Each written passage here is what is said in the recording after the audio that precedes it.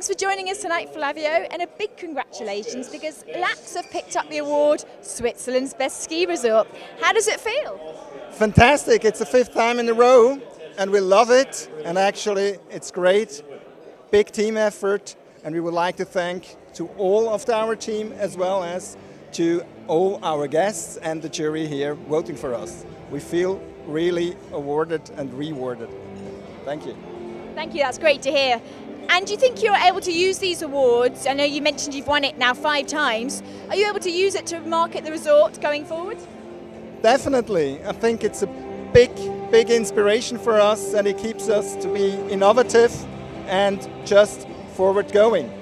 And how are you finding the 2017 World Ski Awards weekend? So obviously tonight is just one part of the whole weekend experience. Are you enjoying? Definitely. It's great here, big hospitality, great environment, and yes. Good. Any standout moments or highlights? I think the resort here, and it's fair to say, they won and they honor it because they're really good here. Great to hear. Well, congratulations once again and enjoy the rest of tonight. Thank you.